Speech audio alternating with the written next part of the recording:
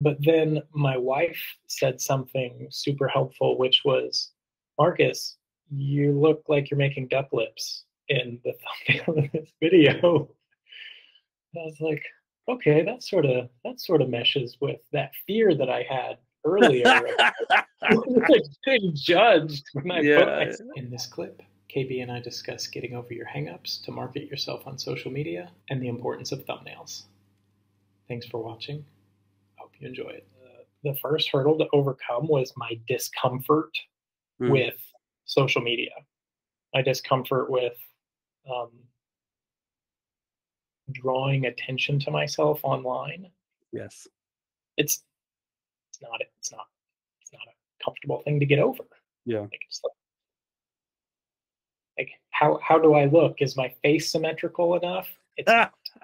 Is like is the way that I talk weird or grating on the ears? I don't like listening to myself talk, hmm but that's okay. Like like these flaws, these thoughts in the backs of my in the back of my head are like like they're they're constantly there, but like it's okay. Like what's literally what's the worst that can happen? Right. Somebody sees it and doesn't like it. Oh no, somebody Yeah. didn't like it. And honestly, your videos are coming out really well. I like the way you put the cue card. I like your consistency on the brand. Like I think that it's it's it's you know what I mean. It- Yeah, at first I wasn't I wasn't gonna do um thumbnail. gonna do thumbnails, but then my wife said something super helpful, which was, Marcus, you look like you're making duck lips in the thumbnail of this video.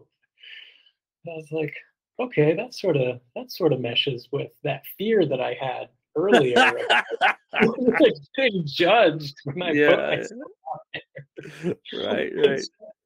Oh yeah, no, okay. So let's let's fix that. And uh, Microsoft PowerPoint.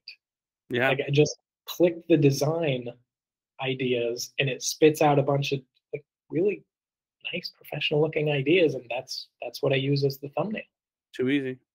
It's Too too like, easy. I use Canva, same same thing, right? It's too easy, right? Um, and and just to take that little extra effort to do that makes your stuff looks way like like totally more professional. I thought so.